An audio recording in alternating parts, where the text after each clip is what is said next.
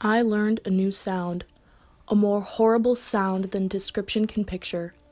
It was the thud of a speeding, living body on a stone sidewalk. Thud dead, thud dead, thud dead, thud dead. 62 thud deads. This is a quote from William Shepherd, a witness of the tragic Triangle Shirtwaist Factory fire. On March 25, 1911, 146 young immigrants died, trapped or jumping from the burning building. That day was the turning point in changing the American laws on keeping workers safe and healthy. The event played a part in a larger movement to help countless other workers in the future to have better working conditions. However, this came at a great cost to so many young women. The tragedy of lives lost touched many people, but it ended in triumph for the American workforce. The Triangle Shirtwaist Factory was a sweatshop, an example of the growing number of working women.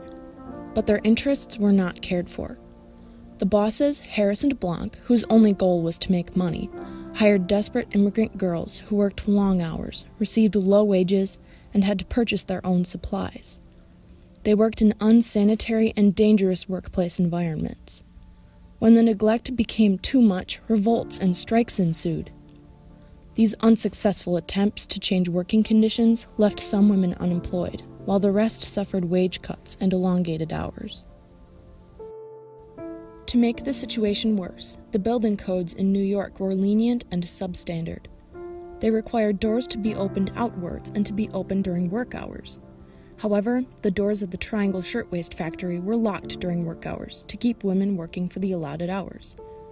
In addition, the structure took advantage of the careless codes, which stated that buildings over 150 feet must have metal trim, metal window frames, and stone or concrete floors.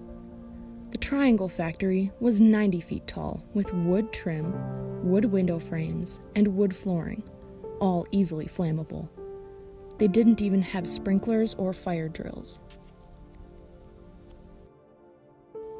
Saturday, March 25th, 1911, started as any other day.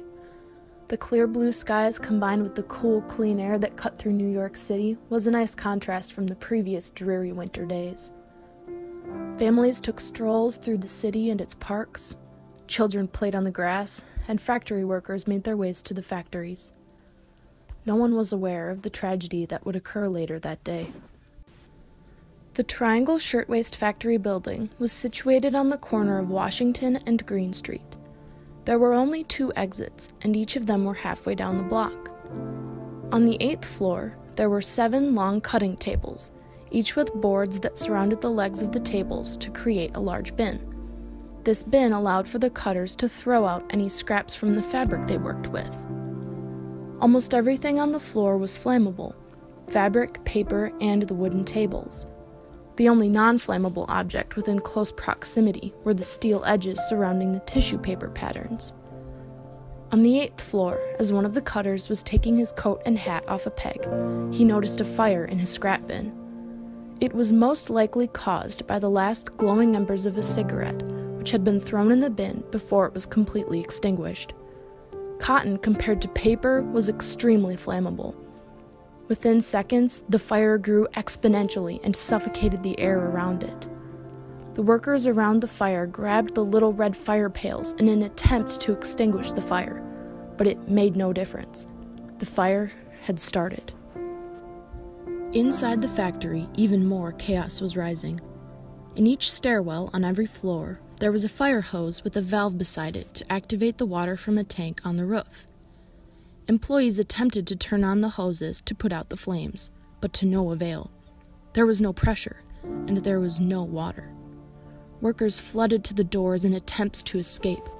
People shoved each other to escape to the stairs down to Greene Street those who didn't choose the stairs crowded the elevators to Washington Place.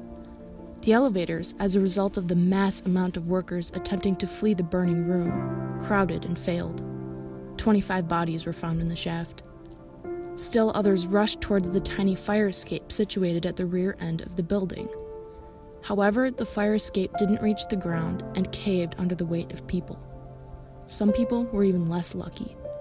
The doors, as a routine from the over-suspicious bosses, would be locked to prevent the workers from stealing or committing other crimes. In the case of the fire, the locked doors prevented the workers from escaping the wretched flames. Skeletons were found piled in front of doors, proof of futile attempts at escape. The doors, as a routine from the over suspicious bosses, would be locked to prevent the workers from stealing or committing other crimes. In the case of the fire, the locked doors prevented the workers from escaping the wretched flames. Skeletons were found piled in front of doors, proof of futile attempts at escape. Outside, panic formed a crowd on the sidewalks. Bystanders watched in terror as huge puffs of smoke rose from the factory building. A laborer paused near the Greene Street entrance and heard the sound of a window bursting from high above. As the fire stations were contacted, bystanders craned their necks to catch a glimpse of the burning building. They soon noticed something large and dark fall from the windows. Someone's in there, all right, said one of the onlookers. He's trying to save his best cloth. It didn't take long for the bystanders to realize it wasn't cloth falling from the building, but people. Ladders from the fire stations didn't reach the top floors of the building, they stopped at just six floors high. Hoses from the fire department didn't reach the fire on the top floors either. With no other choice, the desperate workers inside the building jumped to their death. Nets from the fire department weren't strong enough to stop their falls. They shrieked and tumbled as they fell to the pavement, hitting lights and being impaled on fences. Burned bodies jumped from the 8th, 9th, and 10th floors down to the cold ground below. Frances Perkins, a young workers' rights advocate and later a part of President Franklin D. Roosevelt's cabinet, was visiting her friend on that day. They had just settled down to chat when the loud sound of fire engines screamed past them. Bewildered, Miss Perkins looked up and saw smoke rising from behind the New York University building. The top three floors of the building at the corner of Washington Place and Greene Street had caught aflame. Smoke poured from the windows, and as Perkins and her friend came closer, so did others. Workers were jumping from the windows in a desperate attempt to escape from the inferno. We got there just as they started to jump, Perkins recalled. I shall never forget the frozen horror which came over us as we stood with our hands on our throats, watching that horrible sight, knowing that there was no help. The firemen kept shouting for them not to jump. But they had no choice. The flames were right behind them. In the weeks that followed this tragic event, grief lingered in the city as many knew the fire could have been prevented and loved ones could still have their lives. On April 5th, 11 days after the tragedy, 100,000 people marched through the city of New York to show their grief and support. Shortly before, an assembly of leaders formed the Committee on Safety to urge the state government to do an investigation. They earned the support of party leaders Al Smith and Robert Wagner, which led to the passing of the law creating the Factory Investigating Commission. This was the most extensive and thorough research yet that looked into fire hazards, unsanitary conditions, occupational diseases, and factory inspections. Even though Harris and Blanck were not convicted of major wrongdoing, the new commission was very effective in improving workers' health on the state level. For example, it established the Municipal Building Code, which would require items such as fire extinguishers, fire alarms, and hoses. They also prohibited smoking in factories. By 1915, 36 similar laws were put forth by the New York State Legislature. However, no substantial national headway was made until the 1930s under Roosevelt. The Wagner Act National Labor Relations Board, and Fair Labor Standards Act, parts of the New Deal, benefited unions and children, set minimum wage and maximum work hours, and ensured enforcement of these regulations.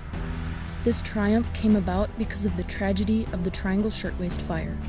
Although devastating, it brought people together to make change and bring about new codes and laws, all of which were meant to create a healthier and safer work environment for the entirety of factory workers.